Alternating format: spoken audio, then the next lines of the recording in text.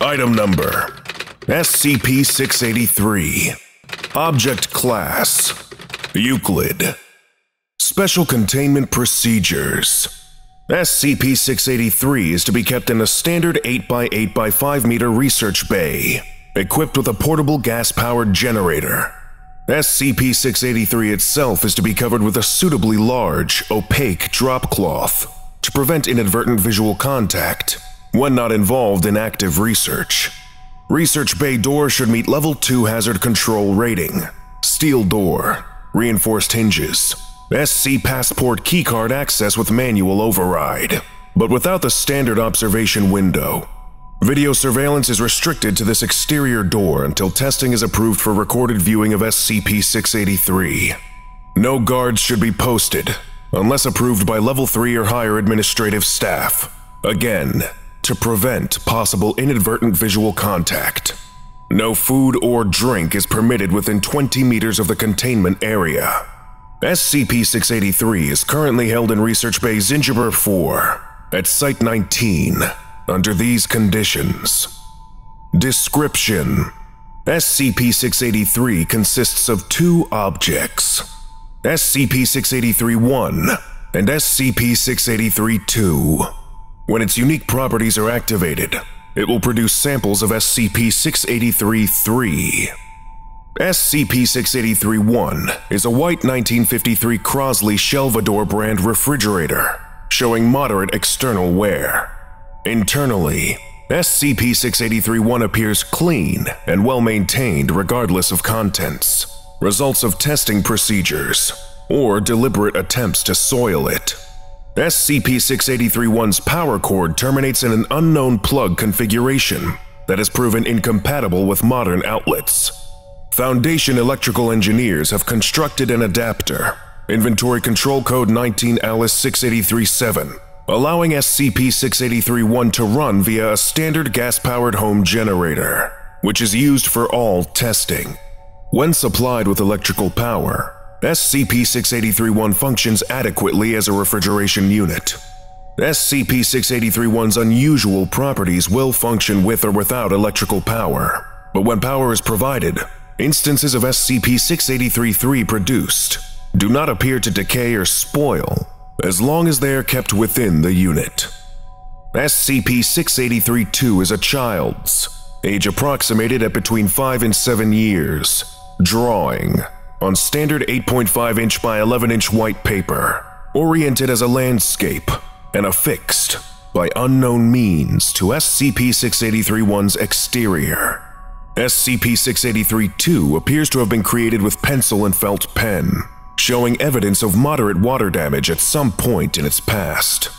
The drawing depicts a mountainous exterior landscape with an anthropomorphic sun, a house, a well, a dog, various vegetation, and a central figure, which appears to be wearing a chef's toque.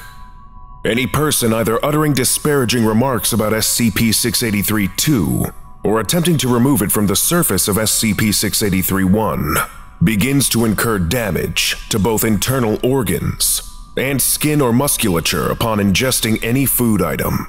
The damage manifests as the excision of tissue from various locations on the body equal in mass to the food ingested. This effect ceases once the victim has ingested 0.42 kilograms worth of food, and an equal amount of tissue has been excised.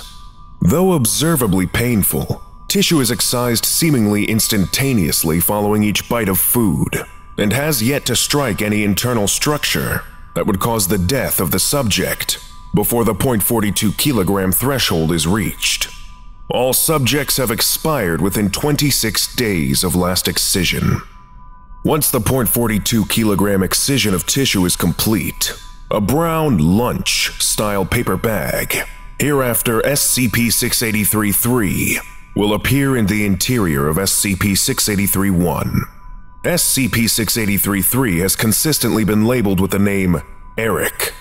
Text appears symmetrically in capital letters printed in black ink.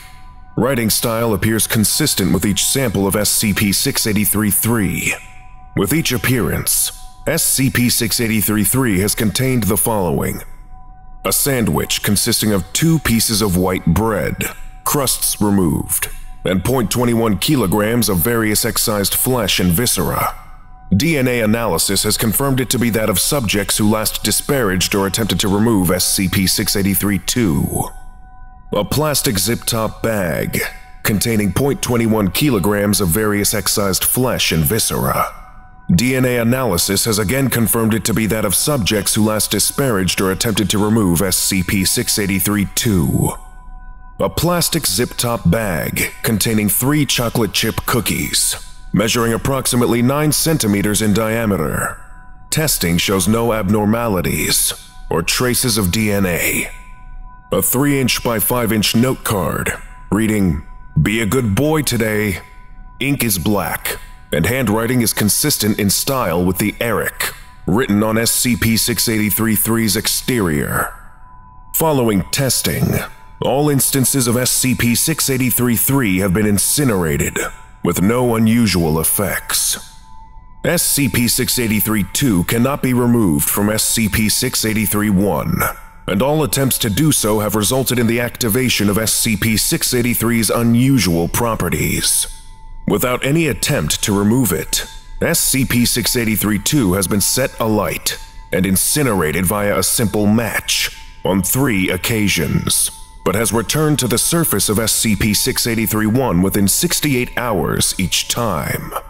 Despite expectations, D-Class personnel who performed the incinerations were unaffected by SCP-683.